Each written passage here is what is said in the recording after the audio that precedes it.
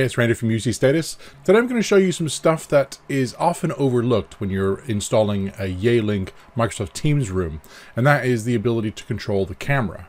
Now, there's a few ways to do the uh, the camera control. One is the remote control, so you don't get them with most systems, but you can actually buy the remote control unit, which I happen to have here.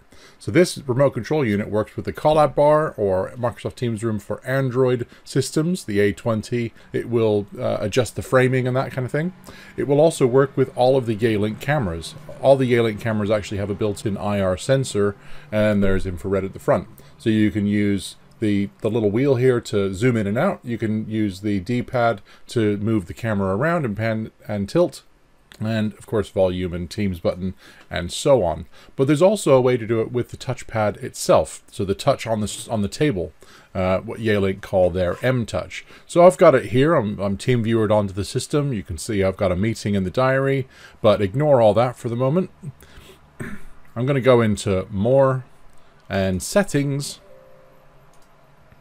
I'm going to pop in the password. Then I'm going to go straight into Windows settings and go in as administrator. Right, so on the desktop, I've got an application. If you don't have it on the desktop or pinned to the desktop, you'll find it under the Start menu. But it's the Yealink Room Connect. It's installed by default on all Yealink Microsoft Teams rooms. So the Room Connect is, is is there for a few things. So one, it's about inventory. Um, you can actually see the inventory. You can uh, get at all the settings underneath, but you can also upgrade them. Microsoft Teams rooms are already upgraded automatically as they do their update check overnight. That includes the Microsoft Teams room application from Microsoft, but it also includes all the peripherals and things for first-party vendors who are certified for Microsoft Teams rooms.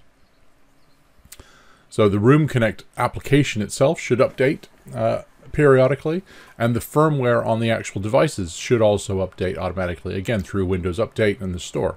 If you want to update manually, you can do so, obviously, uh, from the panel itself. If you happen to have another version of the firmware that you get maybe get from Yealink, you can upgrade the actual application. Just double click on it and run it just like any install next next finish.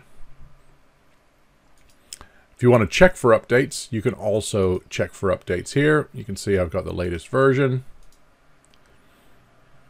You can also adjust the update settings. So you can say at 3 a.m. auto update. So it's going to automatically update from Yealink servers at 3 a.m. on every day.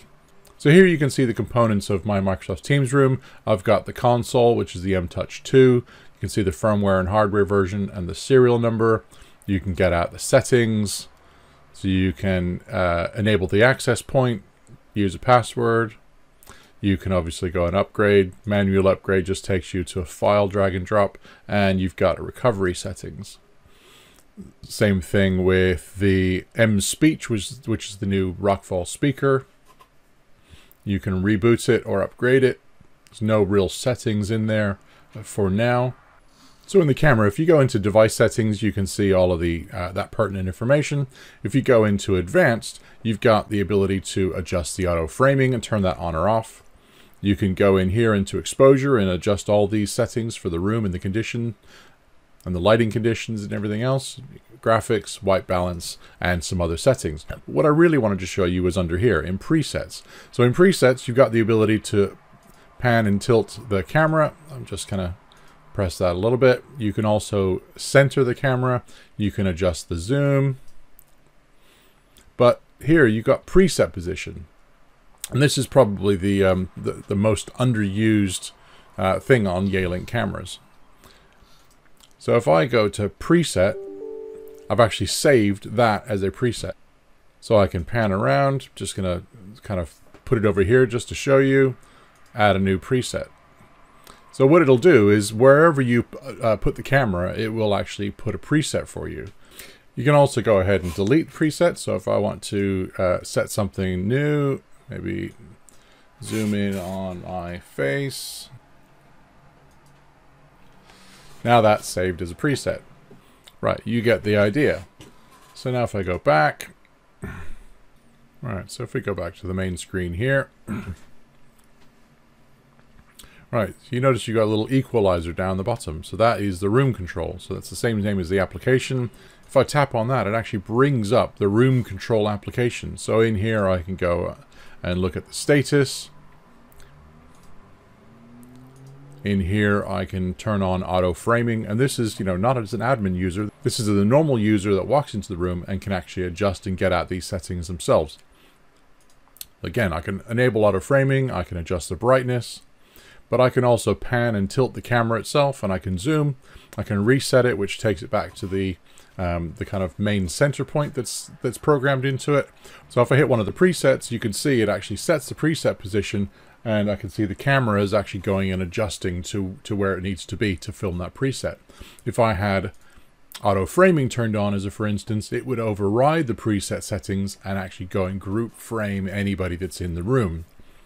But you can override the auto framing settings and just hit one of these start points but then the auto framing will kick in and take over. And that's it. That's all I really wanted to show you is you've got some additional camera control on the Yealink Microsoft Teams rooms. You can set some lovely presets. So around the room, you might have different podiums, you might have different speaking positions, you might have a whiteboard actually in the room that you're not using for content camera kind of capture, but you could just go and film that as a normal whiteboard.